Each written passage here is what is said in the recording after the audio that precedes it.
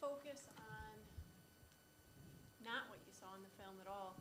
Um, we use organic methods to grow vegetables of all types, um, not in a big monoculture, as of course you saw in the film with the soybeans. We've got um, about 200 varieties growing on about three acres.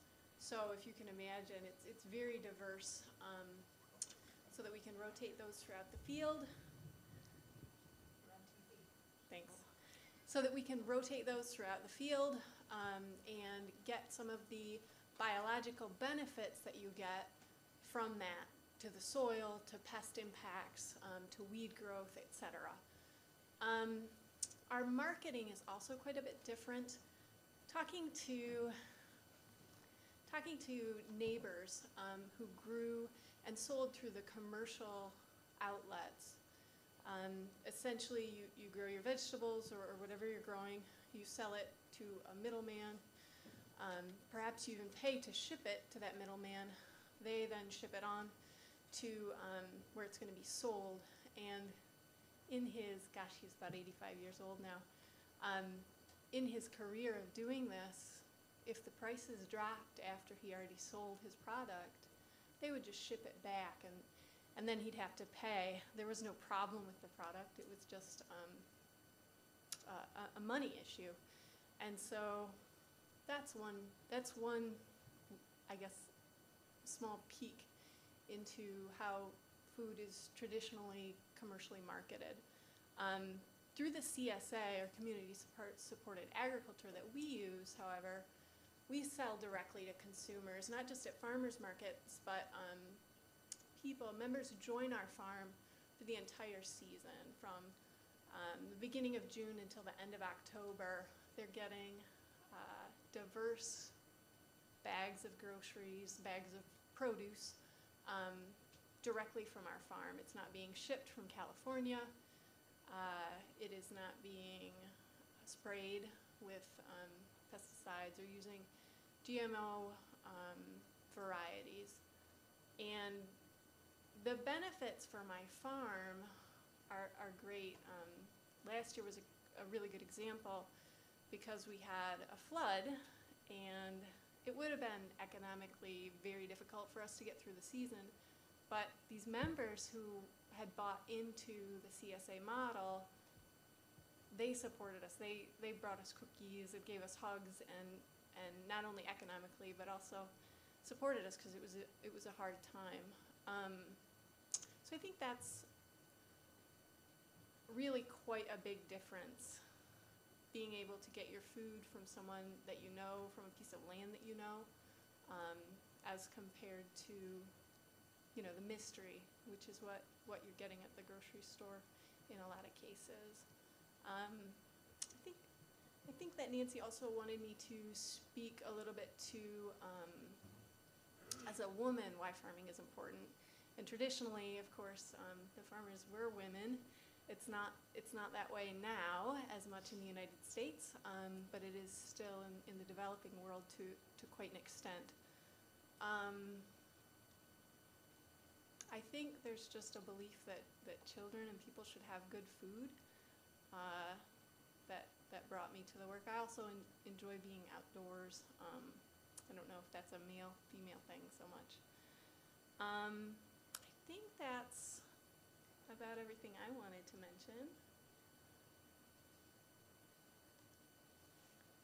I also, um, I think one other thing that Nancy had said is how to get uh, this sort of produce. You can go to localharvest.org and find CSAs. Um, just put in your zip code wherever you're at, whether it's California or Michigan, and find uh, a multitude of different CSA farms or fruit farms or whatever you're looking for.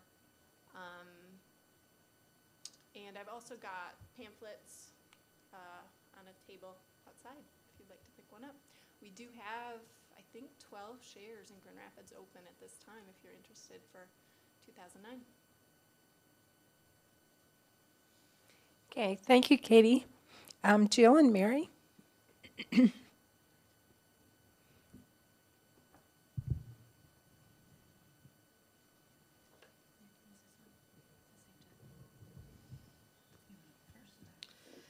Uh, we are the farmers of Crane Dance Farm, uh, Mary and Jill. And um, in complete opposite of everything that you saw, we are a very small, sustainable, diversified livestock farm, um, which is quite challenging uh, in itself. And we've certainly had challenges being women um, in what is a, a male dominated field, so to speak. Um, we try to do everything we can to not support the industrial agricultural complex, and it that in itself is a challenge. Trying to get um, grains for our animals that are not GMO um, is very difficult, and sadly, uh, we just lost one of our organic farmers. Um, ironically, he got pancreatic cancer, and three week, two and a half weeks after his uh, diagnosis, he was gone. So, fortunately, along the way, we have captured a few other farmers' interests and started them on the path from GMOs to quote conventional seeds, which are not genetically modified but are not uh, not open pollinated. And um, we actually have one that's made the cross into open pollinated. He was all excited. He said, "I got some, some corn seed that I'm going to grow. It's it's a yellow dent. I'm like, "Oh, Reid yellow dent." Like, good. the big challenge with that is um, when you grow corn or any other crop that is not genetically modified, the wildlife love it. Um, so we anticipate a lot of deer problems. We're going to try to put electric fence around it. We live in Barry County, and there's a, no shortage of deer. I first learned about this open pollinated, the difference of open pollinated seed, uh, probably six years ago. I had a little, maybe acre and a half field that I'd been planting different cover crops, and I had maybe seven pigs at the time. And then I'd fenced in, put the pigs in there. They'd eat the eat the little crop and till it under. I'd go spray something else on there. You get up so tall, I'd put the pigs back in.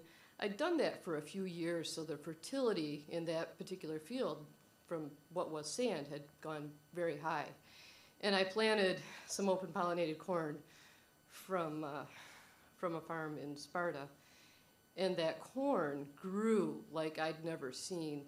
Literally, the ears were above my head. I, I have a picture like this, and I'm standing, and the, the corn is three feet above me.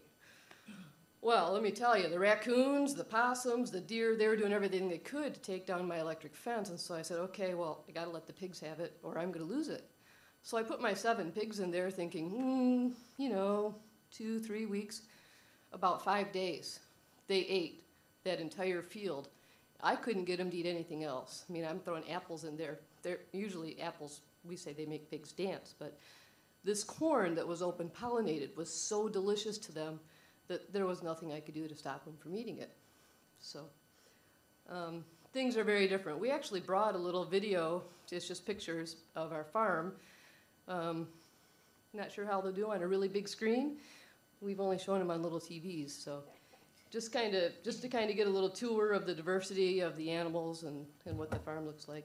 And Really- also, also the difference between what you saw in the film and what you imagine as being associated with film in the big business of farming to, um, to the two of us who are really the faces of the small farmer, um, the small local, very small, sustainable, humane local farmer. And it's, uh, it's quite a contrast. Enjoy.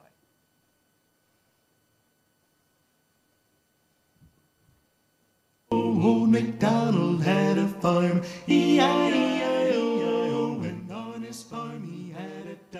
E-I-E-I-O. With a here and a there, here a there, a everywhere. A old MacDonald had a farm, E-I-E-I-O. And on his farm he had a cow, E-I-E-I-O. With a here and a there, here and there, everywhere. With a here and a there, here, a, there, a, everywhere a. Old MacDonald had a farm, e-i-e-i-o. And on his farm he had a dog, e-i-e-i-o, with a bow wow, here and a bow wow, there, here a bow there a wow, everywhere up, with a moo moo, here and a moo moo, there, here a there a everywhere up, with a quack quack, here and a quack quack, there, here a there a everywhere up. Old MacDonald had a farm, E-I-E-I-E-I-O. And on his farm he had a pig, E E-I-E-I-E-I-O. With a Oink oink. here and a Oink oink. there, here and there, and everywhere. With a Ruff ruff. here and a Ruff ruff. there, here and there, and everywhere. With a here and a Moo moo. there, here and there, and everywhere. With a Quack quack. here and a quack. There, here and Quack, there, quack. everywhere. Old MacDonald had a farm, E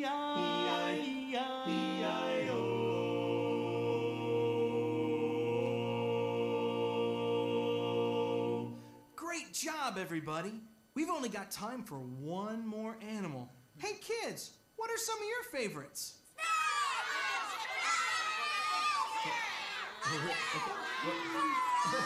Wait, hang, hang on, hang on. I don't think we have time for all of those animals. So, why don't we put them into one verse?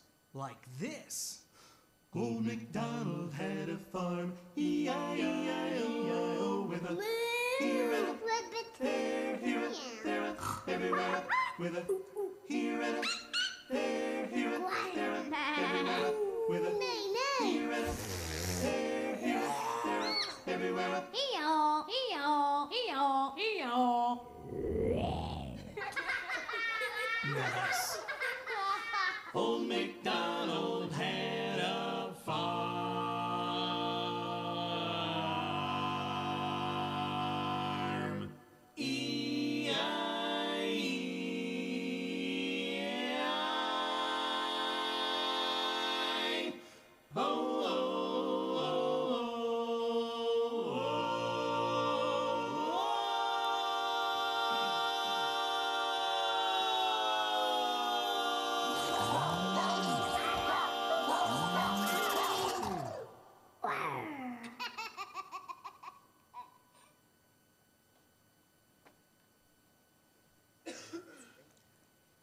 Is our farm, and as Jill said, we are livestock farmers. We raise beef, lamb, pork, goat, Duck, poultry, geese, ducks, geese, turkeys, chickens, and heirloom eggs. and uh, just about everything except for horses.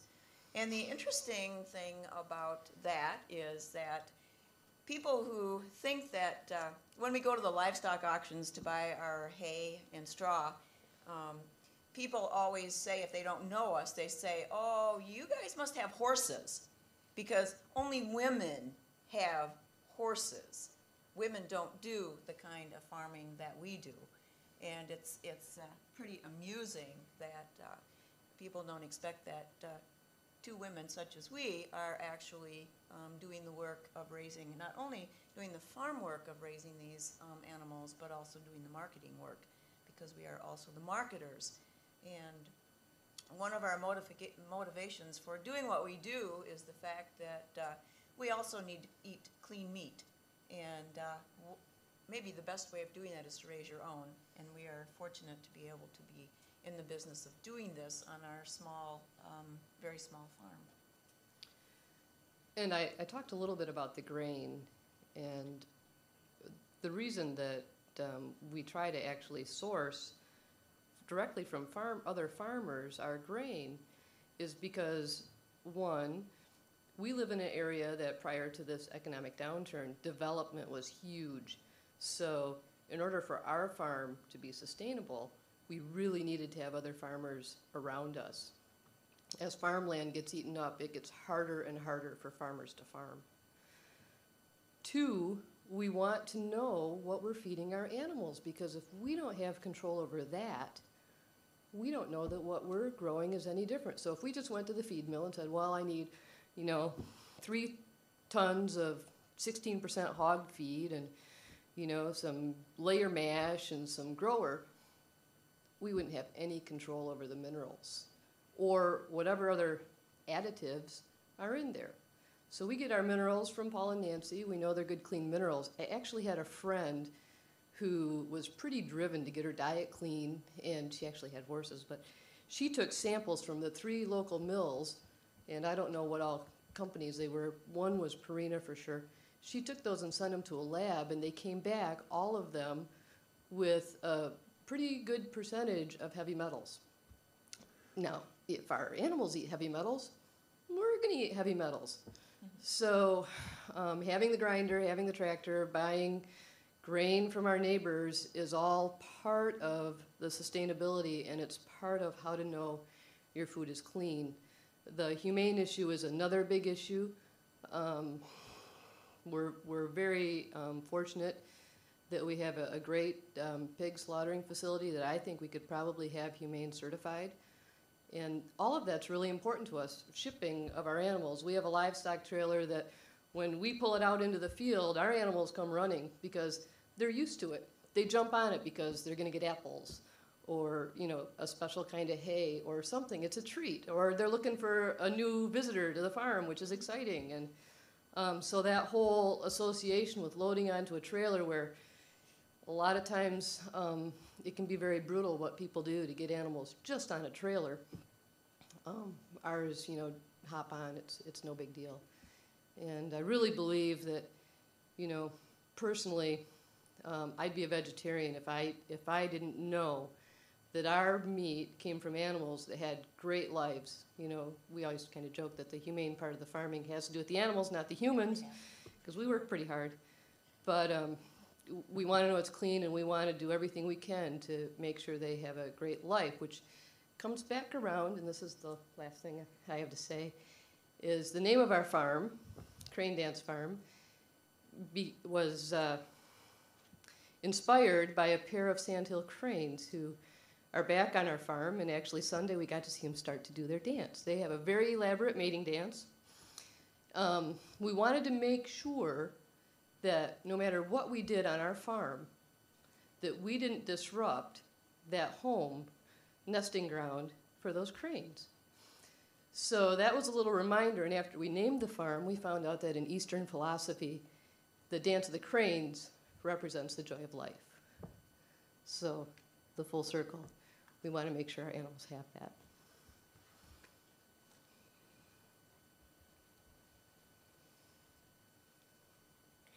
Thank you, Jill and Mary. Please jot down your questions because we're going to have time. Um, our last panelist is Sue Meerman. Sue? I'll just put my panel out here right away for you to see. Can you see it there? Um, I come from Grassfields LLC, and our main thing that we are producing right now for you to know is our cheese. I come from a dairy farm, so actually, I can go back just a little bit and say when I was a child, I grew up on a farm. And then I met my husband um, after I, while I was in nurses training. So actually, I went here to GRCC for a little bit with um, Butterworth Hospital training. But I realized as I was working in the fields with the tractor, along with my husband, that God had placed me in the perfect occupation for me because even as a child coming from a farm, I did a great deal of that dri- driving tractor for my own dad. And it was just a joy to be outside and to do the things that I enjoy so much. I like to also, um, as a woman, I'm sure, nurture life, and therefore I really enjoy the new life that you see on a farm. so that's the place I come from. Um, I have, I was married and I have five children, and then my husband passed away about a year, a little more than almost two years ago now. And uh, that's the reason I'm a farmer. I'm still a farmer as a woman. But I have five children, so three of my five children are now helping us on the farm uh, as actually um, they've taken over the farm and the land belongs to me, but my three sons are now the LLC.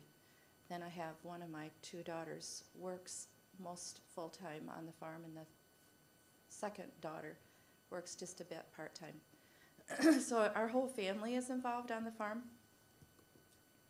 and that makes it real special too. Not only do we have the dairy cows, um, but we about in 1991, we went to uh, grazing our cows, and it's called rotational intensive grazing, where we move our cows from one place to another pasture every day so that they get a new place to eat grass from, and it keeps the grass being used as it should be, and then comes back around in about a month, they'll come back onto the same piece again. And that also would be referred to, maybe we're grass farmers even more so than dairy. But we use the cows to do that, but you also have lambs that we take care of the grass with, as well as uh, pigs, and we have chickens that we take care of the grass with. Our youngest son, when he was 10 years old, started working with chickens, and he's now 21. So he's got chickens that lay eggs and chickens that he moves around in the pastures to take care of the pasture, and he uses them and for meat that he sells. As far as numbers, I think um, he's got his second batch of 800 baby chicks for this year for layers. So he's got a lot of eggs to move this year. and as far as the broilers, he'll probably do, um, I'm not sure his numbers this year. Probably a thousand, twelve hundred. And then our cows, for numbers, um, we're working on hundred and thirty cows for milking at this time, but we'll be increasing this year, which is not necessarily what people want, but, I mean, as far as the market is concerned, but we are organic now as of about a year and a half ago, two years ago, May. We were able to be, um, or certified organic as a farm. So not only um, do we have the no hormones, no antibiotics, no steroids, um, all of our feed has to be organic certified, as well as all of our pastures that all the animals go on. Not all of our products do we call organic because we've chosen to focus on the milk and the cheese being organic at this time, but because of expenses, we don't buy organic feed as additional feed for the chickens or for the pigs or the lamb, or actually for the beef. So the milk is the only thing that actually comes out certified organic. So there's advantages to all of them. Um, we're different from conventional, obviously, because even through the history of my farming with my husband, uh, we were conventional farming up until 1991, with our animals all confined inside the barns where they had free stalls they could go in and out of, but then go in and get milked, and then they didn't go back out on, they didn't go outside the barns any time of the year. But of course, as um, grazing, where they go out on the pastures, they're out on the pastures all year round now, and not confined inside the barns at all. So that's a huge difference. The commercial, of course, is mainly always inside barns. Um, as far as different from corporate, we're uh, obviously family-owned and very small. I think you would call a corporate farm something with a few thousand cows at this time. Uh, Nancy asked the question about why is it important um, that you support us. I guess our response to that is, I think it's important to you that you know where your food is coming from, that you know um, what the farm is, and that is one reason, like, after we started making our cheese, which was in 2002, we have a little store on our farm, and we invite people to come out there. They can buy things. All of you could come out um, uh, just a few days a week for our sake, but um, getting the products that we have on our farm at our farm so you can see where it's made. And I also think that it's really a neat thing to think about being local as to where you get your food because it keeps our money dollars right here in, in this area rather than giving your money to several different people on the way to going to California and bringing back things. So in that sense, I think of local as being very important.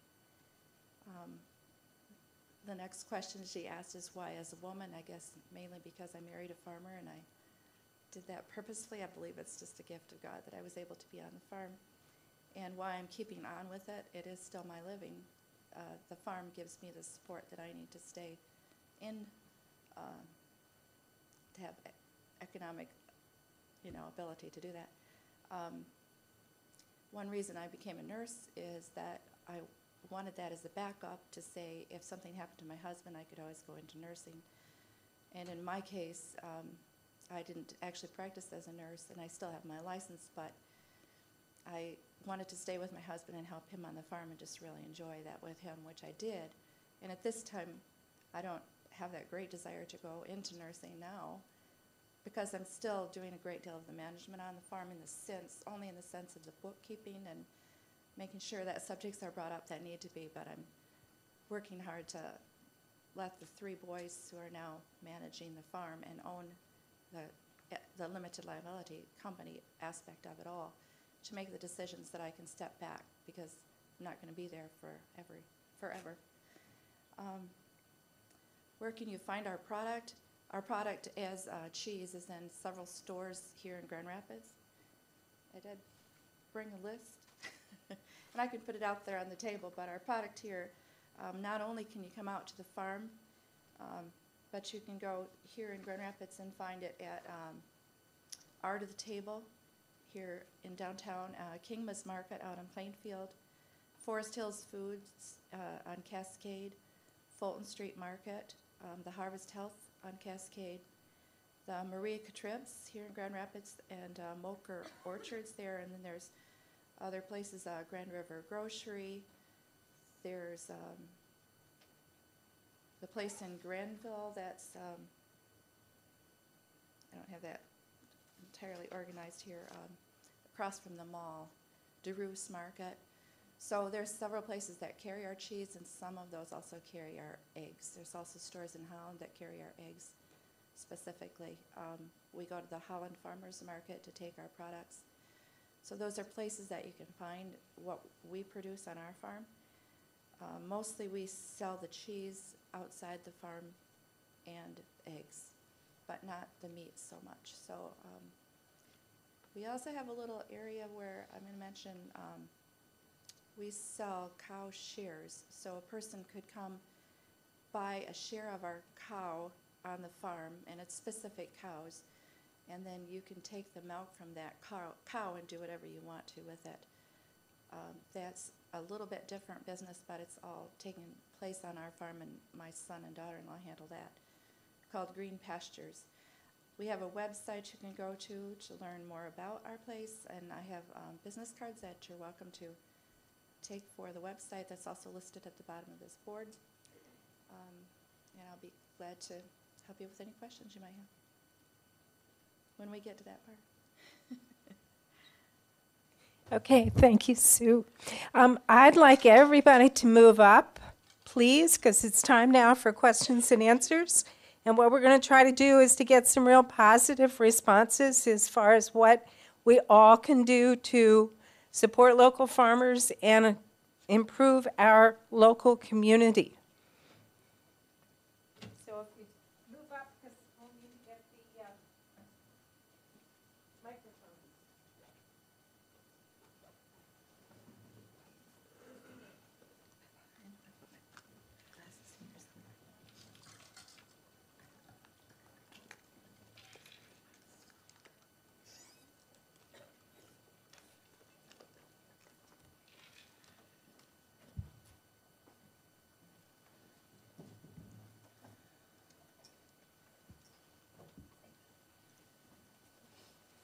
One thing before we start with the uh, questions and answers, I want to talk a little bit about the importance of economics. Um, there's a term called parity, and it used to be very important because it had to do with what's called raw material production.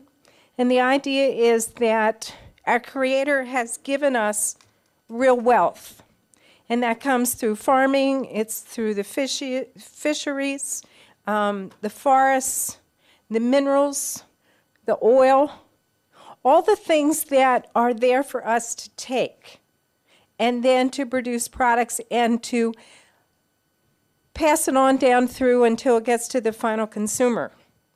The parity idea is that the raw material producer must be able to make a profit so that all the expenses are covered and there's still some money to left over to be able to continue and to go again. And one of the things that has happened with our government policies has been to do away with parity pricing.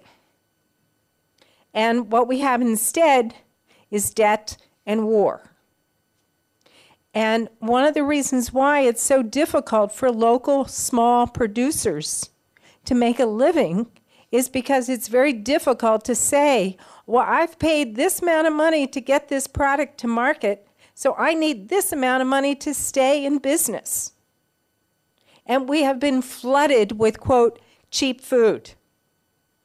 Water is subsidized, fuels are subsidized, the big, big corporate farms are subsidized so that it is not equal, it is not parity. And this is one of the reasons why it's so difficult to pull yourself away from the convenience and the quote cheapness of convenient foods in our uh, restaurants and in our supermarkets. To say, no, I need to support a local economy. I need to support local producers. So I just needed to bring that issue to a, a real paramount part of the discussion because it is overlooked with our government policies.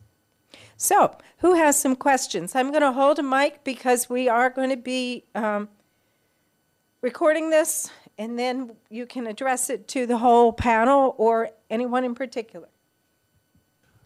Okay, so uh, in my family, we have done this for a long time, the idea of supporting local produce. Um, a lot of um, Harvest Health, that type of thing out Hudsonville. Um, my daughter is a fanatic about this stuff over in Ann Arbor. The thing I'm concerned about is given the degradation of farmlands uh, across the country, um, the business of agribusiness running the show and all the rest of that, how can, or it seems to me like it's an almost insurmountable problem when we talk about the macro economy, the idea of reconversion back over into local type farming on a massive level in order to save farmlands. Um, there's also the problem of um, development, as one of you mentioned, um, which I think will continue the minute that the economy comes right back because big money comes in. And I'm not sure if you guys have answers any more than I do, but the question I have at that point in time is, has anyone thought through the kinds of steps that need to be done in order to create an economy of conservation and an economy in which we are um, doing this on a level that would feed everyone and not just a few? That's the question I would have.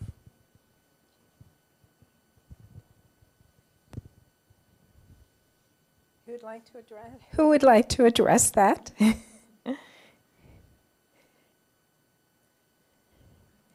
you've got to. If you're saying yes. Yeah, it is. I do think that when we consider local, there have to be a lot of local places to really supply everyone. And I guess we're just stepping in to fill in our little spot. I also know that on our website, my oldest, who's very you know, involved in Farm Bureau, has a disclaimer on there to say, you know, we need each other because we can't feed all the people in the world. Therefore, we do need the bigger farmers as well as the small. We don't like some of their practices, but people have choices. They want really cheap food, that's what they go with. And that's what he wanted to say in there, we're working together. We're not trying to say we're the only ones either. Oh, I understand that. It's just a matter of, um, I look at it in terms of saving the environment as a, in its entirety. Macro Yeah, business. You yeah. guys are doing wonderful things. Um, There's that piece that's missing between the small farmer and the big. and How do you get the big farmer to adapt so that they're doing healthy practices? That's the question I have. It's consumer You know, there, there is a movement that's happening, and you're probably well aware of it. There's, um, you know, people who are in the slow food movement, people who are have, you know, read Michael Pollan and, you know, um, the, the different authors, and everywhere you're finding articles about eating healthy. And, you know, I don't think that there's probably an either or kind of a way, but I think that public, public consciousness and education are extremely important. People who are in the know um, are willing to commit to going to where they have to go to buy foods that are healthy for their families. Um, I think, you know, one of the sad things is that the, um, what is the average age of the, the average farmer is like 57 years old. There are, you know, Katie's younger and she's getting into farming. And, you know, but there are a lot of older people who are the farmers and a lot of their children are not taking over the reins. And so, you know, how to grow the, the small farm movement is, is just what Sue said, you know, you, to, to put more farms, you know, back into business. But it's really hard when, you know, we don't receive any monies from anybody. Um, it's, it's basically what we do and it, it's, it's a hard existence to etch out. Um, we, we do what we do because we're committed to it. Whether we'll be doing it, last summer we thought we might not make it through the summer because of the cost of corn just going way sky high, like, fuel And fuel. And fuel commodities. yeah, and commodities. And we thought, you know, are we gonna be able to, to make it through the summer? Are there gonna be people coming to the Fulton Street Market? Because that's where we do, um, we market in two, um, major places. One is the Fulton Street Market, um, every Saturday in, from May through December. And also we're members of the West Michigan Online Co-op. And, All of uh, us are. Yeah. all of us are. And um, that, we're third in the nation for an online co-op system. And um, it's taken a few years, but it's really working out very well. And uh, it certainly does help us during the winter months. You know, but I, I think that's one of our concerns, you know, as farmers, you know, who's going to take over? Who's going to be there when, you know, we're having a hard time finding a, you know, farm help uh, let alone an intern, you know, who is willing to commit to this concept. And it's hard to be young and to not have resources um, in to think about going into farming. It's a good question you asked. It's a tough one. I think there are a lot of things that get in the way, but I absolutely believe that we could have local food, especially in Michigan. I mean, we can grow just about everything in Michigan. I mean, we don't really have to have oranges. And if we can learn how to put food up, and and even with greenhouses in Michigan, with passive solar greenhouses, we can mm-hmm. grow really all the food in Michigan that Michigan needs to consume. And why would we spend our dollars shipping them out of it, especially now in this economic time? We need to keep those dollars in Michigan. The, we have a lot of things that work against us with that, though. Um, uh, one of our mentors is Joel Salatin, who really moved the grass-fed, uh, grass-based farming movement along. And um, he, he calls it the FDA, FDA, and the US DA. and a lot of the policies that the FDA and the US DA have work against us. They make it really hard. I mean, what the Meermans have done to get raw milk, organic cheese in the hands of consumers without doing it under the table at night is amazing. That's hard work. And the fact, maybe you guys don't know about raw milk. You learned about bad milk on this film, but raw milk is the best health food you can probably have, especially if it's on grass and especially if it's organic. The only way to get around, because the government, i.e., Monsanto, or the FDA, or the USDA, or um, yeah, well, Conagra, or all those big ones, they don't really want farmers to be able to get their products right to consumers because that cuts them out. So, And gosh, what's gonna happen to the pharmaceuticals if people start getting healthy? right, I mean, there, it, it's really interwoven. The biggest single challenge, despite all of that, and, and all the, the farm payments, which, you know, I'd be like, get rid of them. Get rid of the farm payments. Open the market, because then we would have a lot more parity. Because the factory farms wouldn't be able to survive without all the laws and all the payments that help them. And the prices of food would get up to probably where they belong. But we need farmers. It's really sad that we lost an organic farmer. He was only 60. Now, a lot of people are like, well, that's probably close to retirement age. No, it's not. Not when you're a farmer. I uh, actually have a degree in agriculture, and when I was going to school and learning about agriculture, and I didn't grow up on a farm, the stuff I learned scared me, and that's when I knew I had to start growing my own food. And this was pre Monsanto. So um, somehow we need to get young people interested in farming. We need to have some kind of help in doing that because starting like we did, from scraping up enough money together to buy a little farm and then trying to get fences and well, we finally have our own tractor instead of borrowing tractors and it's it's very capital intensive um, to do livestock in particular. But I really believe that if we can get more small farmers and we can, Katie, how many acres do you farm? Um, it's seven acres in total, five tillable, Okay, and how many families do you feed? a hundred, Off five acres.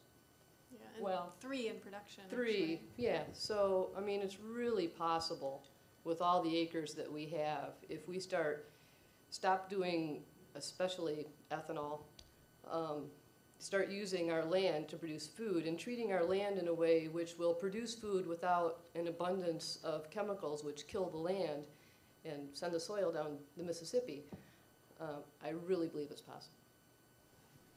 Yeah, just to kind of follow up on that, um, as far as saving land for agriculture, it, it is the, in my opinion, the local producers that are the only people in a place to do that. Um, I can, I can produce much more money on my farm with diverse practices and growing vegetables for human consumption than folks that are, you know, growing corn. I, I don't know, personally, it's a couple hundred dollars an acre of profits in corn when the prices are low.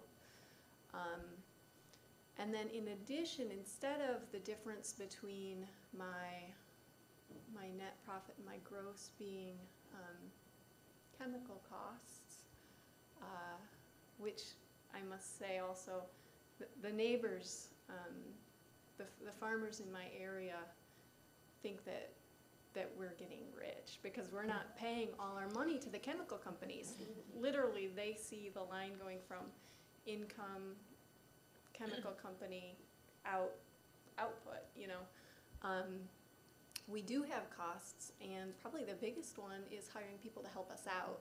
And in Michigan's economy, I mean, it's it goes full circle, and all of these things come together.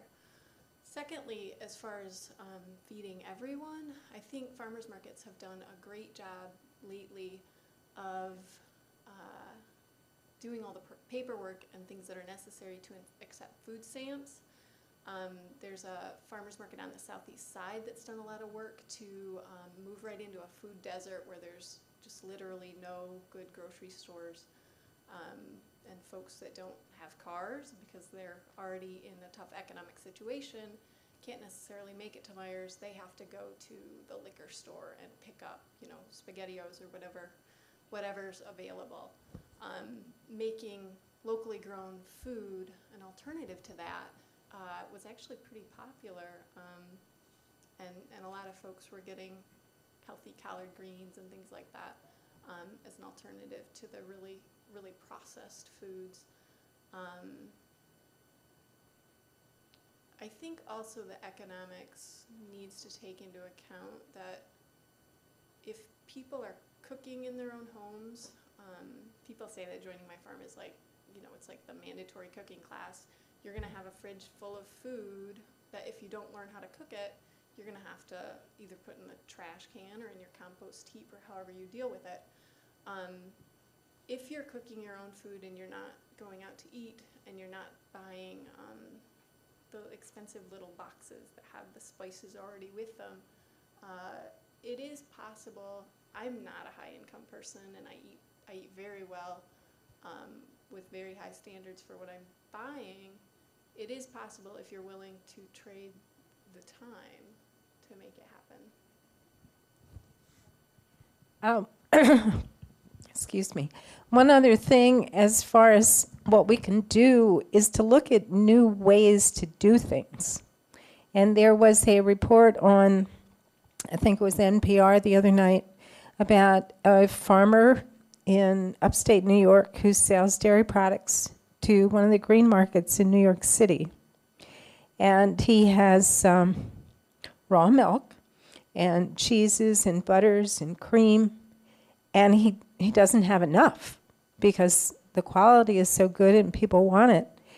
And he'd like to do a processing plant on his farm to be able to expand, but it's too expensive. So, what he's doing is he's going to his customers and say, Would you invest in my farm? So, he's taking a model from a man who's written a book called Slow Money. And the idea is that you invest in something in your local community that is going to really make a difference. So, by going to his customers, if he can get a $1,000 loan and pay 6% interest, that might be better than going into the stock market. But it's even more so because it's supporting that farmer and it's supporting something that is going to be sustainable, something that is local. And this is something that we need to look at as new ways to operate to keep our money within our community, not just with agriculture, but with many, many ways. And there's a, an organization called Local First that um, was just written up in the Lansing paper about all the wonderful things that the Grand Rapids chapter is doing. And one of the things that they do have is a little coupon book that you can purchase and then take and buy things at these other member stores. Now, if, as a farmer, it was too expensive for us to join Local First, but I certainly support what they're doing. And I know last fall they had several days where they highlighted local producers and restaurants that were serving local foods. And one of the things that Paul and I are doing is trying to do education to let people know that you really do have choices. And watching this horror film with Monsanto, there are so many positive things that really are happening. And I want to give a plug for the film that we're going to be showing two weeks from last night on the 30th called Food Fight. It's at San Chez Bistro at 7 o'clock. It's a free showing. And it starts in California with the chefs wanting to serve food that tastes good. And they went out to farmers and said, Would you grow this so that I can serve it? And Alice Waters and some of the very famous, famous chefs that have come out of Northern California are in the film, and Michael Pollan and several other activists that are really trying to educate people to making different food choices. Um, and in the very end, it interviews a senator, I think, I think he's a senator from Wisconsin, who tried to make an amendment to the Farm Bill and say, you know, let's cut out some of these subsidies. And the film shows, of course, that it was voted down, and the congressman who voted it down, how much money they received from the lobbyists to keep the things the same as they are. So there's so many areas that we can be trying to make a difference. And food is one because we eat every day. Okay. Sure. This is a, a small one. Um, I eat a lo- I drank a lot of soy milk, and when I watched the film, all I could think of was poison I'm putting in me. Now I get that soy milk at Harvest Health, and that same brand is also available at Meijer's. How can I be sure that it's not poisonous? Is it organic? Yeah, I think so. It, it can't be GMO if it's organic. Okay, if it's certified organic, it's not, okay. That takes care of it. Thank you. Question?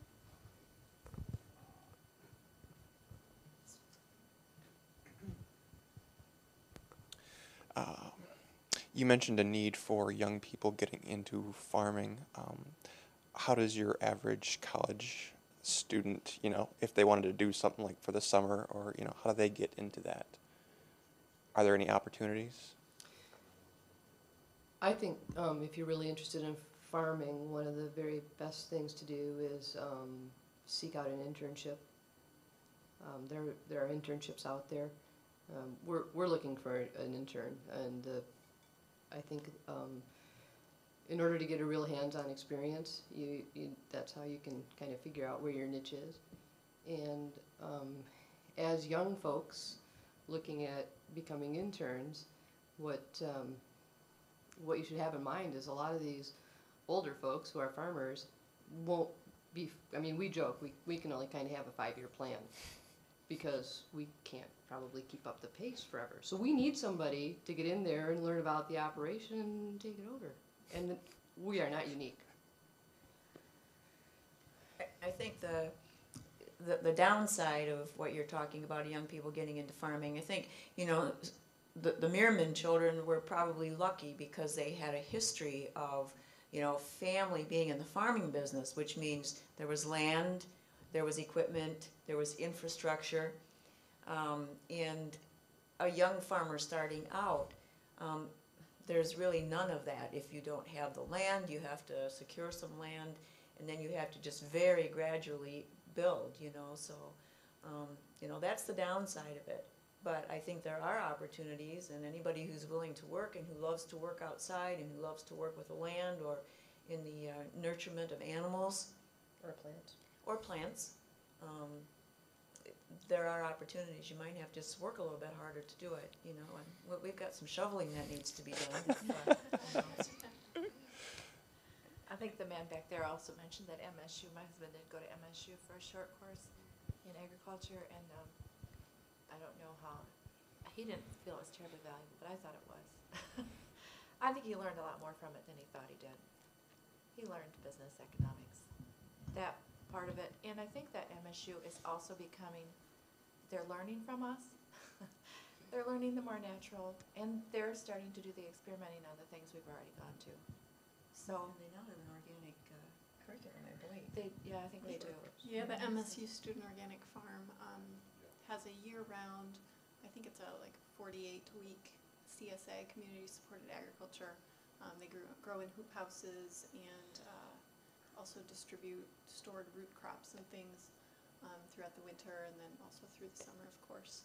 Um, And that's a, it's a one-year program, making it a little more affordable. Um, But I, I have to concur that the way to learn about farming is, is by working on farms. I, I didn't study science or agriculture or anything in college. Um, I learned working four or five summers for other farmers. Um, I think doing the hands-on and, and seeing what's practical in a small-scale farm. Also, then you can kind of seek out what you want. Um, if you're if if your your interest lies in um, permaculture, you can find a farm that does that. If your interest is with uh, livestock, you can find a farm that does that. And within that, if your interest in livestock is with rotational grazing, you can find a farm that's doing that very well. Um, whereas if if you're getting kind of the broad college education, it's a little harder to focus down into something that you're going to be able to um, apply every day on your own farm. I also have to say that it is a hard thing to get into working on farms. Um, internships can be uh, can be trade for housing. That that can be your pay can literally be that low. Um, believe it or not. Um, I, however, if you look around, um, I I don't think I ever got paid minimum wage when I was doing that was about five bucks an hour, and I was always getting paid a- around minimum wage. Um, we at, at my farm we choose to pay minimum wage because we don't want to rip people off. But um, but I think too, besides the money, all that learning, you know, you're going to pay if you're going to MSU. Um, you're getting a lot on the farm as well. Also, on the issue of buying land, um, I, I think that was a huge barrier for me thinking that I needed to own the land, but leasing is definitely a great option. That's how we got in. It's about a hundred bucks an acre. Um, and you can't buy land for less than three or four thousand dollars an acre, so it completely changes the, the money equation to get started. And there's um, two ways to look for internships, um, both on your computer. If you just put farm internships in, I can't think of what the website is, but you'll go there. And also just, um, just looking at the, uh, what was the website you mentioned? There's ATTRA, Oh, ATTRA, ATTRA's the one, Local Harvest. If you, if you go to Local Harvest and you find farms that are doing things that um, you're interested in, contact that farm. They may not have it together enough to, uh, to know, To advertise. to advertise for an internship. That's how I Or to even have the aha moment that they should be training somebody, you know, so.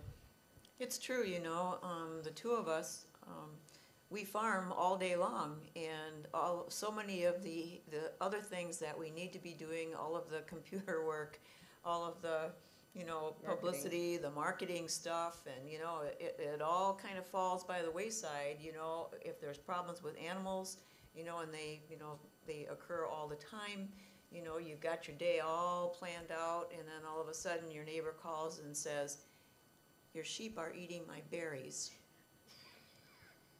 And so you drop everything and you go and you take care of the sheep, you get them back to where they need to be, you fix the problem. And meanwhile, you know, an hour or two has passed and, um, you know, the day has just gone kaput. So, you know, it's, it's that kind of a, of a schedule and challenge. Varies a lot. It varies a lot. One of our, um, one of our friends at the market, Mary had mentioned to him that, uh, we, you know, we make these lists and we never get them done, and he said, you guys are still making lists? That's self-defeating, because that's just kinda how it goes. Hard to plan. Yes, if you do want to find a farm that you'd be interested in, one thing is to go to the farmers markets. And the Fulton Street Market opens the 1st of May. And just search out the farmers that have products that might be something you're interested in and talk to that particular farmer. Um, there's also a market in Muskegon called Sweetwater Local Foods Market that's open all winter long. It's inside every other Saturday. And then in the summer, it's outside. So there's, there's ways to uh, connect with farmers even in the winter. Other questions? Just a quick note, another um, neat way to get into farming is willing workers on organic farms. This is usually a uh, work for board type trade, but it may be in an exotic place like New Zealand or um, somewhere beautiful, so.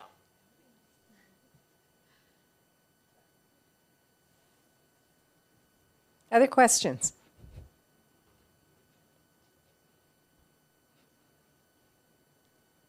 Comments? Okay, if you're interested in this film, The World According to Monsanto, it's $20 and it can be purchased through the people of Turtle Tree Seeds. There's catalogs on the um, table in the back. They're an open pollinated, many of which are certified organic or are bio- biodynamic seeds from people in the United States and also some places in Europe. And best thing to do is to start to grow your own. Look around your neighborhood, find a little spot that you can put some plants in, get some people together. As several of us, of us have already said, it's working together that's going to make the difference. And um, I thank you for coming.